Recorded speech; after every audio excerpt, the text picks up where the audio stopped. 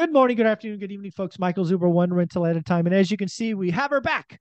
We have Elise back to talk about being superwoman, full time employee, mother of two, uh, wife, uh, out of state, 21 properties, BRRRR. She's just doing this and that. And all, all I can say is, Elise, is how do you stretch the day? How do you get 28 hours of activity in a 24 hour day? Because you're doing amazing things. And I want to, I want to repeat it. Um, honestly, it's teams. It is having your teams in place and then having a very supportive partner that's on the same page. I'll tell you right now, Todd and I um, sort of have our own lanes in this real estate business of ours, right? Um, I'll manage the rehab projects um, and a lot of the property management, um, managing the manager, right? Um, and he does a lot of the financial sort of background stuff, the bookkeeping, um, any of our loan and LLC, all of that is Todd. So it's it's sort of having our lanes, and then God bless property management. Like you shared, we have 21 properties, and there's no way we could do it having full time jobs and kids, and um, you know, trying to fit it all in without our property manager for sure. Yeah, I think I think there's a lot of things in there because I get a lot of questions like from from moms, a, a lot of moms, uh, like like like how, and I yeah. think there's a couple of things. I don't like Olivia has never been on my channel. She's like, I'm not going on YouTube. Yeah. So we don't talk about it a lot. But uh, again, she and I have had clear lanes of operations since day one, right? She ran the day to day and I found deals and secured capital. We we couldn't have been we would be if I had to do it all myself, we would have probably stopped at three or four. It just yeah, it's it's not scalable. Like life gets in the way.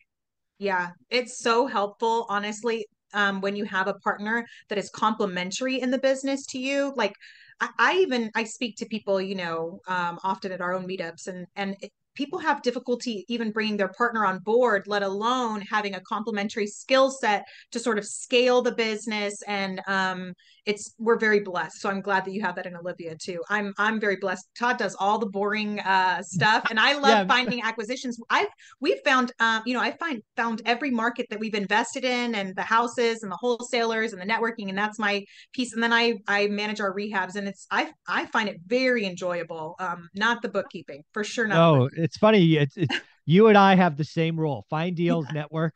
Olivia and Todd do the hard stuff. Yeah, hard, yeah, hard, sure. boring stuff. That's exactly right. I'm so glad. Have it. Keep me out of jail too. No tax audits. Do exactly. all that stuff. Exactly. Oh, that's that's pretty amazing. Um, so I'm curious. You know, the other thing that's very important is you and Todd. At least it appears to me. Please correct me if I'm wrong. Uh, we're on the same page even before you had your first rental, right? You had conversations about what you were working for. Uh, is that a fair assessment? Yeah, I mean, so um, a long time ago, I was a guest on your show, and I spoke about how I was an ER nurse. I used to be an emergency room nurse, and um, there's almost this sort of like reality that hits you in the face, right? Um, where you realize how short life can be, and so that sort of manifested over the years of um, retiring early and sort of taking advantage. It, it's this balance of like, do I, you know, YOLO and you live my life to the fullest right now, or um, act in a way that I can magnify my results and you know retire early. And I chose the second one, okay, because I, but um, I definitely wanted to retire early, and I just thought if we can just um, you know compound our efforts right now, we're going to really be fruitful later in life. And then um, we we had some stocks, we were dabbling in stocks, and we chose real estate as the path, right? Because yeah, it, there's nothing wrong with stocks. We love stocks, um, that but um it takes a longer time. You have to have a much larger amount of money,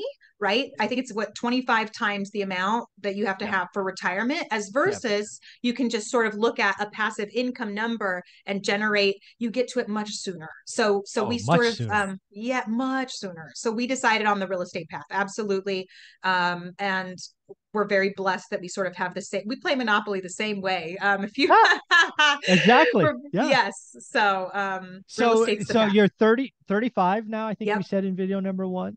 Yep. uh is it fair to say that both you and todd will put the w2 behind you before you're 40 yeah originally our goal was 45 and now um, it's looking like 40 it is it is looking like in the next five years and then we'll be work optional. We'll have to see yeah yeah we'll have to see if we want to still do but but at that point it's our decision so yeah yeah that's pretty amazing Uh, and again, you had in so out of state, right? Live in Southern California.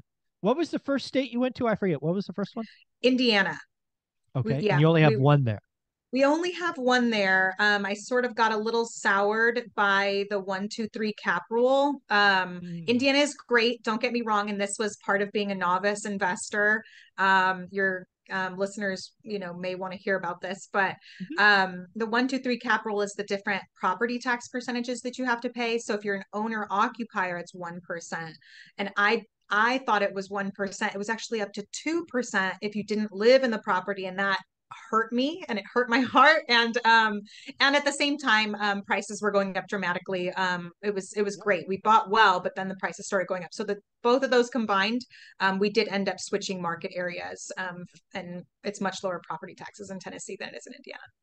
There you go. And then when you look out in the future you're you are focused on Tennessee now yeah, it's tough to leave. The market has really um I mean it's all markets have done well, right? But Tennessee is one in particular that has done well, but we have our teams in place and it's um it's tough once you you know we've had some bad contractors in the past and um it once you have a great property manager a great contractor especially because you know we we do value adds um yep. it is tough to sort of start all over again somewhere yeah. else i mean i wouldn't be opposed but um we oh, definitely it would have, have to be advantage. a very big yeah yeah we we have an advantage of of sticking the course here so yeah, it's funny. We talked st- in video number one about hey, midterm or short term rentals and why Olivia and I decided not to go there.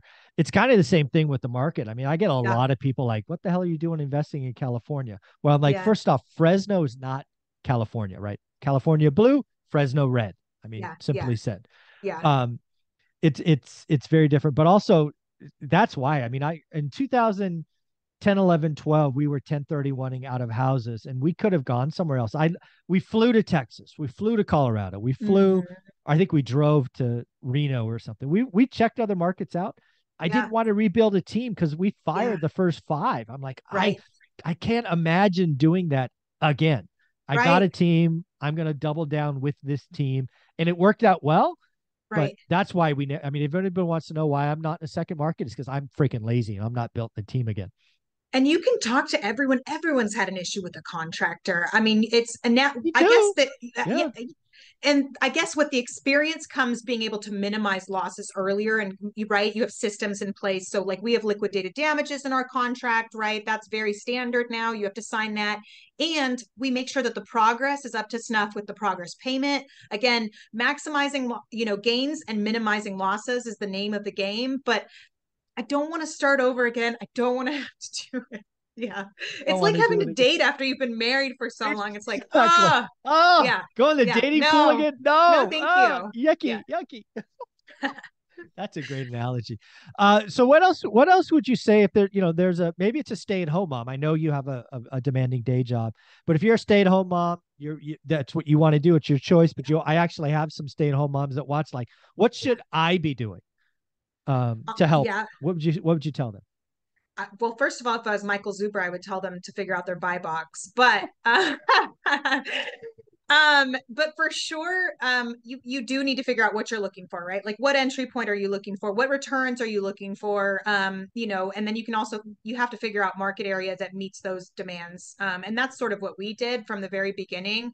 Is um, we wanted lower entry points. We wanted um, certain things that were of course landlord friendly. Um, and so we figured out the criteria that we wanted and then we just started narrowing in narrowing in um, until we we hit our criteria. Um, and then start running deals. Be on drips. Um, set yourself on drips for whatever that uh, you know um, price point is and look for your three twos or whatever makes sense in that area. I'll tell you right now, talk to property managers in advance because some of them might tell you, like, look, three ones do not rent in our area. It has to be a three two, or hey, that's not that big of a deal, or you know, um, figure out what works in your area. Talk to property managers; they're the ones that know um, to help you sort of define that buy box even more. Yeah, very very cool. Uh, and then how about getting on the same page? Because that's something I think you and I have, our significant others, our partners yeah. in this. Uh, we I, we've been on the same page since day one. Uh, but if you're not right, yeah, how do you have those conversations? Yeah, so I've talked to people about this, and I think they need to drag their partners to meetups because here's the thing is it's like who you're surrounding yourself with. If you're not familiar, if, if you're not not only familiar, uh, but like you don't know anything about this, when a person is confused, their automatic response is no. Their mm-hmm. automatic response is no. So they need, first of all, more knowledge. Is it a knowledge deficit? Is it that they just don't think this is, you know, done by people? And they need to surround themselves in rooms where this is not only being done, but it's being done very well and making people a lot of money. Um, and it's it's make it less complicated for them, right? It is simple at the end of the day. It's not easy, but it's simple and there's a difference. So it, it, needs to be broken down with how simple it is and here's the numbers and this is why it works and this is you know why millions and millions of mom and pop landlords are making money on this and they're going to give you know wealth to their children. So um, i would say drag them to meetups um, let them sort of let it sink in um, and yeah. and get on that same page. Let, let me. I, there's two. I have two thoughts here because I I get asked this question a lot, and I yeah. I freely admit I was lucky. Right, we were on. We were 100 mm-hmm. percent aligned day one. I'm blessed. One thing I've I've found being interesting is to sit down and have a conversation about 10 years from now. What do you want our life to be like, honey, right. in 10 years? And often that's like, hey, we're we're living this, we're doing that. It's it's a big life for most people 10 years out. And then you pull it back. Well, this is how we could get there with more certainty. Because you're right, the stock market's wonderful, but a bear market, you know, the four percent. Like if you have a million bucks and you're living on the four percent rule, that's forty grand, rule. folks. Yeah, yeah, I'm not interested in living on thirty thousand bucks a month. I don't know about right. you. Right. That's that's not sexy. But right. you get a million bucks in real estate working, which you could control ten million. Right. Now we can have a conversation, right? So that's one thing I've done. What do you think about that one? I 100% because once you start breaking down the goals, it becomes more real. Like, how do we get there? Um, and when you like what you said about leverage, it becomes this reality and this snowball. You don't want to stop. It's almost like have them buy that first house with you, let them see the reality of it. We, Michael, during these years, I mean, because you're thinking 5x, right? Leverage is 5x, you're making, you know, a multiple of you had 5x with appreciation. Yes. You really it's it's yes. 10x. I mean, and you know, all the other benefits, forget the fact that it's 20, you know, you're only putting 20% down, it's 5x. All the other benefits, right, of depreciation and we made millions of dollars. We're multimillionaires at 35. I didn't make that through nursing. I did not make that through nursing. We are literally multimillionaires.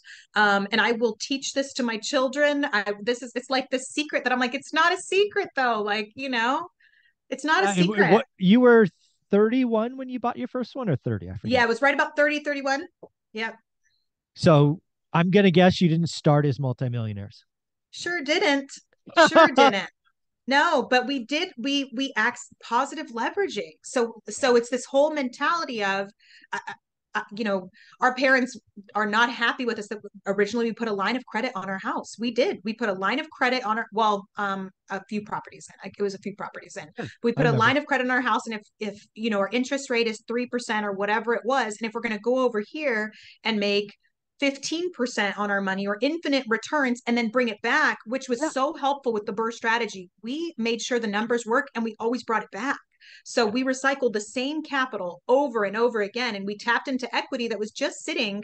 I know, I know people don't, um, you know, want to touch their houses, but we brought the money back every single time. We recycled the same capital over and over, and literally capitalized and made millions of dollars. It is what yeah, it is. I the, so it's funny. It's Olivia and I had a rule, right? If we ever took an equity line, because we had an equity line on our house when it started, we started. Do we? I don't think we do anymore. No, I don't think we do anymore. But when we had it, her rule with me is we could use it, but there were two things. Yeah. One, we had to pay it off in a year, recycle Perfect. it back, right? Yep. Pay it off in a year. And two, I couldn't buy anything else until that was paid off. Okay, there's a priority there. It, yep, yeah. and it's it's protection, right? And it's safety, and it's all of the things. Um, and I I totally understand. But again, positive leveraging. Would you, if you were going to make 10% over here, would you take out the loan that you're only paying 3% on? There's a 7% gap there. And it's like tough to, it is yeah. tough for us. And we play Monopoly the same way. I told we do you. play Monopoly. yeah, exactly. but again, I want people to really hear this because I, I grew up in a household where we were a weekend away from being foreclosed. Right. I remember packing yeah. up my bedroom because we weren't going to be there Monday. Wow. Now magic Wow. happened and it worked out, but I Yeah. will never forget that. So I will never put my family at risk like that. So I think those two rules for us made sense. Yeah. Right? Have to pay it off in a year, Yeah. and I can't buy anything else until that was paid off. Great. BRRRR worked. I BRRRR I Yeah. wrote about BRRRR before it was called BRRRR on Bigger Pockets as a Yes. featured blogger in 2010 11. I, I did love it. It's all it's all there still. At least I Yeah. think it is. Um but yeah, it's it th- that was enough for us. But I do have people that are like, "Oh, I can get 200k equity line and I go out buy five properties and max leverage." I'm like, "Dude, what are you doing? You're and putting the your numbers family at have to work. You really have to be so conservative with it we're so conservative with the numbers. That's the reality of it. It's the math. And I, we spoke about this in your last um, episode here. Um, we're in a different environment now right? So the market um, will affect your strategy. And so now we're looking at creative financing. A lot of people todd right now was just in um, a mastermind group in florida on a deep creative financing. And we've already done we've done several subject twos. Um, we've done it but we know that the next environment is going to be ripe for for creative financing Folks, we just found video number three. Elise and I are going to talk about creative financing because I think she's right. You've heard me talk about it a bunch. It is coming. It is going to be an amazing 18 to 24 months. But before we do, Elise, where can people find you? Yes, sir. Um, Instagram is where you can find me, investing for financial freedom, and you can find my husband Todd Rasmussen on Bigger Pockets. Do me a favor, folks. Let let her know that on Instagram that you want her to come back to one rental at a time as a weekly featured guest. We want to see that. Do you want to lease back? Follow her on Instagram, send her a DM or a comment, and uh, let's see what happens. Thanks, Elise. Thanks.